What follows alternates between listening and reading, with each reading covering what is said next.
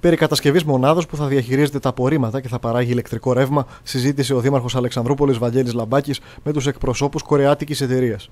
Οι εκπρόσωποι του εξήγησαν, φέροντας ως παράδειγμα κάποιες αντίστοιχες μονάδες της Νότιας Κορέας, πως η επιβάρυνση του περιβάλλοντος είναι σχεδόν μηδενική, ενώ παράλληλα η παραγωγή ρεύματος είναι ικανοποιητική. Δέχτηκα μία αντιπροσωπεία από Κορεάτες, οι οποίοι α, θέλησαν να με επισκεφθούν προκειμένου να διερευνήσουν τη δυνατότητα συνεργασίας με την κατασκευή ενός εργοστασίου μιας μονάδας επεξεργασίας απορριμμάτων με τη μέθοδο της καύσης.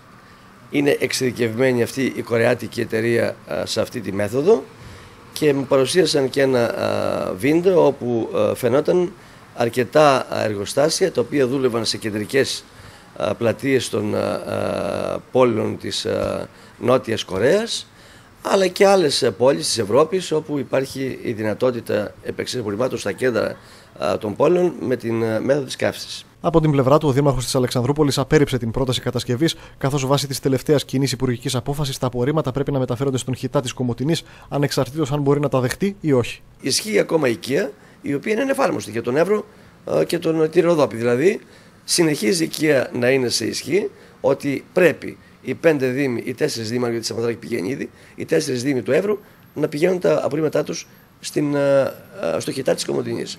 Τέτοια δυνατότητα δεν υπάρχει.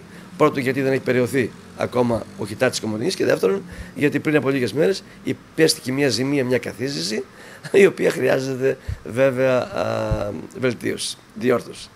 Αλλά και αν ακόμα βελτιωθεί, αν διορθωθεί και αν παραδοθεί ολοκληρωμένο το όργανο αυτού του χιτά τη Κομωτινής, πάλι ο Δήμος της Κομωτινής αδυνατεί να κρατήσει τα σκουπίδια, τα απορρίμματά μας του Εύρου, διότι δεν έχει αυτή τη δυνατότητα λόγω του μικρού μεγέθους. Άρα βρισκόμαστε σε μια κατάσταση δυστυχώς αδυναμίας να αντιμετωπίσουμε ε, την ε, διαχείριση των απορριμμάτων. Παράλληλα, τους εξήγησε την πολιτική κατάσταση που επικράτησε στην Ελλάδα τους τελευταίους 9 μήνες, την νομοθεσία σχετικά με τις απευθείας αναθέσεις, ενώ τόνισε πως δεν θα προχωρούσε ποτέ σε κατασκευή μονάδας καύσης απορριμμάτων λόγω της οικολογικής του συνείδησης. Πρώτον, δεν υπάρχει ακόμα θεσμικό πλαίσιο νομικό που κι αν ακόμα συμφωνούσε μαζί σας ε, δεν μπορούσε να αποβεί σε κάποιο σημείο προσέγγιση αυτή η, η συμφωνία.